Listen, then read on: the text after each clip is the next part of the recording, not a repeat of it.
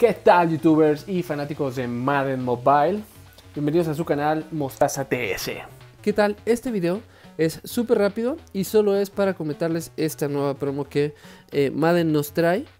Realmente es información, es hacerlo oficial, que muchos jugadores que no eran vendibles ya lo son. Como en temporadas pasadas, como en años pasados, ya podemos vender todos los jugadores de los sets y de donde quiera que los extraigamos, ya no solo de los packs.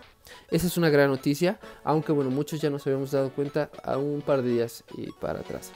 Eh, los Coins Rewards regresan a la sesión. Esto es que cuando estamos jugando un partido de sesión, bueno, de repente te sale un aviso que eh, si tú llegas a la yarda 10, eh, te dan un paquetito de coins o pues un reward, pues te premian por eso. Y eh, los Pro Packs ya incrementaron su límite de compra. Ya no eh, son 10 nada más, ahora podemos comprar 20 packs. Entonces eso está genial. La verdad es que eh, me parece muy bien. Y quiero pasarles mi opinión respecto a todo esto que está pasando con Madden, que la verdad ha habido cambios muy raros. Quiero ser breve nada más.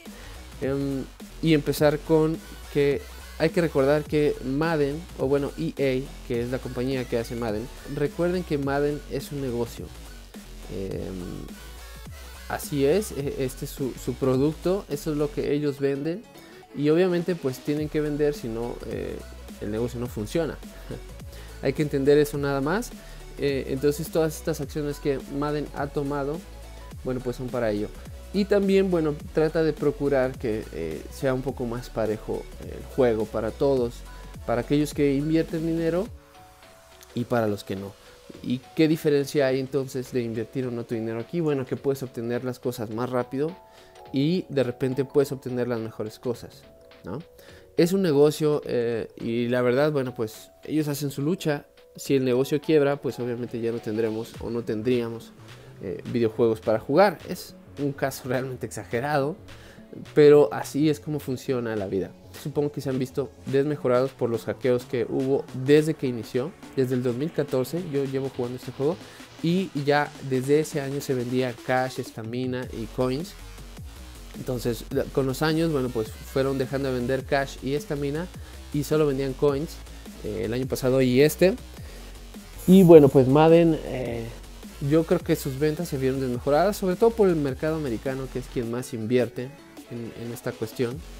Y ah, bueno, pues empezaron a tomar esta clase de medidas de poner los jugadores de los sets que no sean vendibles, de pues empezar a limitar, por ejemplo, los Pro Packs y todas estas cuestiones que de repente ah, nos han sacado de onda este año.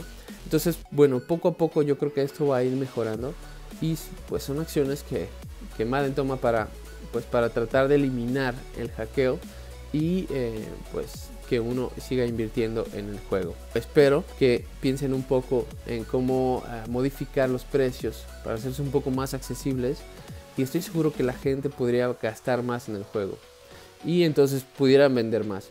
Pero bueno, esa es mi opinión y solo quería comentarles esto. Pero bueno, esa es mi opinión, solo quería comentarles que ya lo hicieron oficial y bueno, pues si les gustó el video, por favor den like, suscríbanse para nuevas notificaciones de nuevos videos. Compartan este video para que aún no se enterado de estos nuevos cambios que hay. Y eh, espero sus comentarios. ¿Ustedes qué opinan respecto a todo este eh, embrollo en el que se ha embarcado EA para hacer tanto cambio y tratar de pues eliminar esa parte del hackeo. Bueno, entonces nos vemos hasta la próxima. Chao.